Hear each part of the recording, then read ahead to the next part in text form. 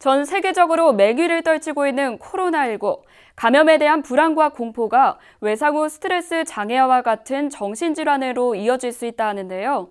경기도가 감염증으로 인한 도민들의 불안을 해소하기 위해 심리치료 지원에 나섭니다. 최창순 기자입니다. 경기도가 코로나19로 인해 도민들이 외상 후 스트레스 장애를 겪지 않도록 경기도 재난심리지원단을 가동했습니다.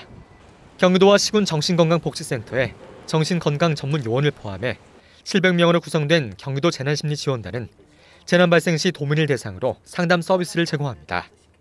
어, 확진을 받으셔야 되는 분들은 보건소를 찾아가시면 되지만 그렇지 않고 스스로를 불안하게 괴롭히실 필요는 없으시거든요. 마음을 가다듬는 게 필요하실 것 같다는 생각이 듭니다.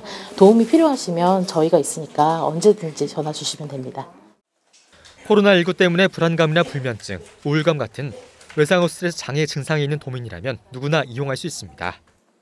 정신건강위기상담 전화인 1577-0199를 통해선 24시간 상담이 가능합니다.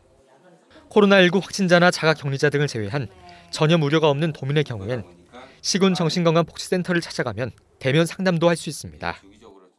상담 결과에 따라 고위험군에 대해선 지속적으로 사례 관리를 할 예정. 또 정신건강의학과 치료비를 지원할 방침입니다. 신종 코로나 바이러스 사태가 과민에게 심리적으로 이렇게 영향을 주는 것 같습니다. 어, 그래서 어, 경기도에서는 앞으로 어, 이 사태가 진정될 때까지 도민 여러분들과 함께 할 것입니다.